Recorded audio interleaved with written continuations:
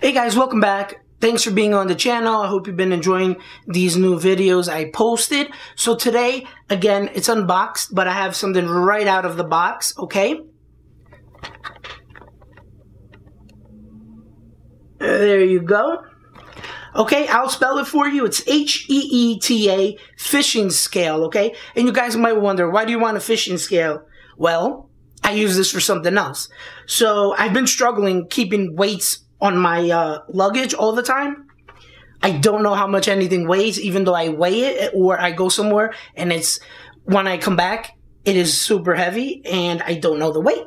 So I got this fishing scale which it was purchased on Amazon by me. Again, it's not sponsored, and I've used it already, so I know exactly what's in here. And I want to tell you, it is phenomenal. Hopefully, it's working correctly. Okay, it is made in China. Uh, max weight 50 kilograms to 110 pounds. It has a on and off switch, obviously. It has a switch where basically you change it to the unit. It's called the unit. And a tape measure as well. Okay, let me bring it up here on screen. Okay, pretty basic. Again, I'm not gonna put it in here. I already tried it. It comes with batteries. It is two uh, AAA batteries. You basically put the batteries in. You turn on on and off the switch, on and off the button, I should say. Here's the unit. You just click on it, and it'll change it from uh, pounds. And you just put your bag here. You hold it. You wait a couple seconds. Try to keep it as steady as you can and it, it, will tell you the exact weight of the bag, the luggage, whatever you're trying to weight for that matter. Okay? It came with two AA batteries. Okay? Probably Chinese as well. It's working fine. No complaints. And it also came with a strap. Okay? I do not know what, the strap. It, again, it's to hold different things, I guess. Um, if something maybe is not in this shape of the hook, so I would assume you would just put the strap here and weigh this. Okay, that's my guess. But so far, I used it. It works correctly.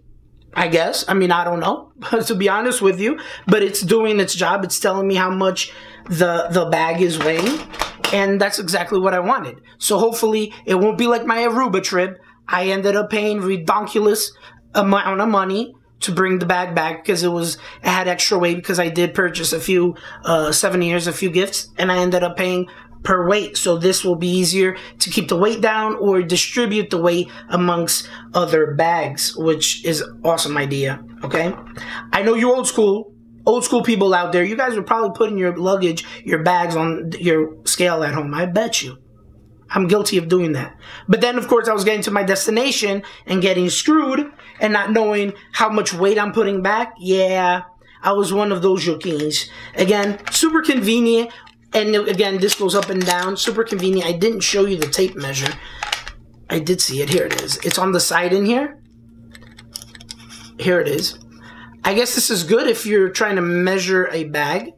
Seeing if it'll be good for the plane. I don't know. I don't know. To be honest, I, that, that's what probably I would use it for. But so far, so good. I mean, it's it's good. It says low battery induction. Yeah, I mean, this won't use a lot of battery time. I mean, all you're doing is weighing it for a few seconds and boof, turn it off. I think it's good.